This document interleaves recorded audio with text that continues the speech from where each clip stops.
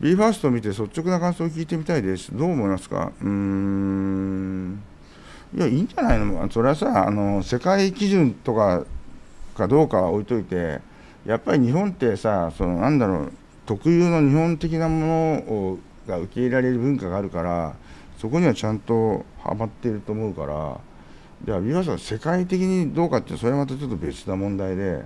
日本という国の中で日本人が求めているものには合っているんじゃないかなっていう、